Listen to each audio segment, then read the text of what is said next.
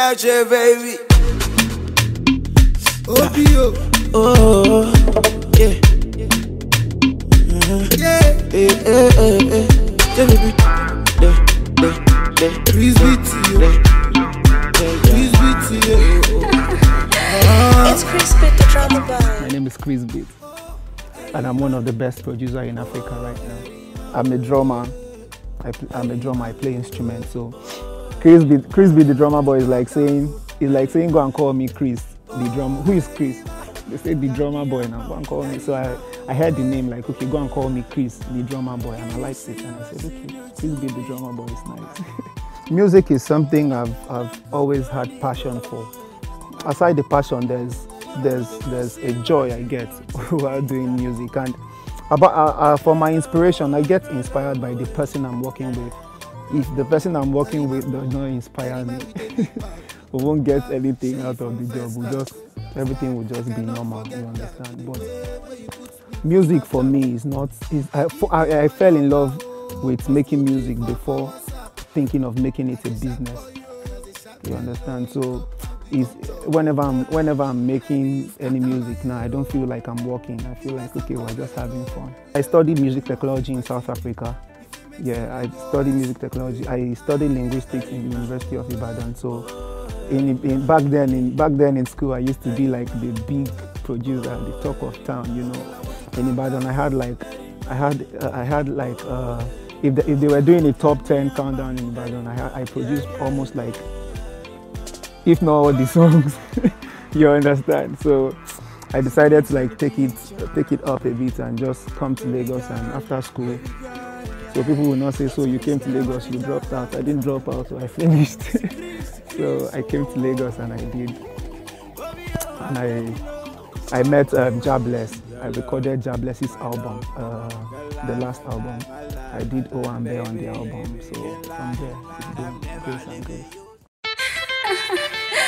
It's Crispy the drama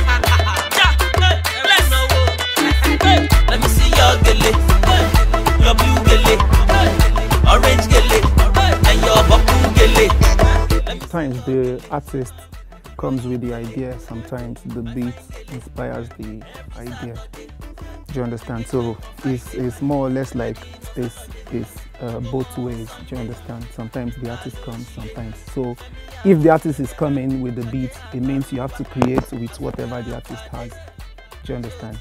And if you are making the beat it means the artist has to create with so it's both ways. People i really want to work with I want to work with Nicki Minaj. I can't wait to be in the studio with Nicki Minaj. I can't wait to be in the studio with Rihanna. I can't wait to be in the studio with um, Jay Z.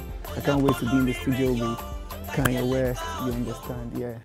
Swap with. I want to. I want to know how Jay Z thinks, even if it's just for a day. You know, the business, the everything. I just. I just want to get inside his head and know. Okay, this is how I did this. This is how I did that. You know, for let's say like one week is not bad.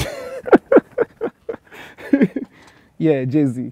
Baby pana, they say you like you all. I, I get you all. Baby pana, Yeah, yeah, beautiful too. My number one in tutu. Sipping bruku tutu. For your love it tutu. I go chuku chuku chuku. Uh, Eve was produced by Tekno. Pana was produced by Krizbeatz. And um, like I said, it's, it's, it's, it's, it's a new genre of music here in Nigeria now, you understand? So I introduced it. So it's allowed, anybody can, you get. But it's not my beat, I didn't make the beat. It's, a lot of people are telling me it sounds like my beat. I know it sounds like my beat, you understand? But it's Tekno's production. Sounds like my beat, and Tekno is my friend, so we are allowed to do anything with our sound. It was rugged, man. They had the most frustrating session I've had. You know, because Ruggedman can travel and come back and want to change something in a song that you feel is done already, and nothing is as frustrating as if you think you are done with something and someone comes and says, okay, there's one place that is that you can clean You understand? Eh, I'm just that's just an example. Like there's something that he wants to. I won't say frustrating because he's a perfectionist, and sometimes it gets annoying.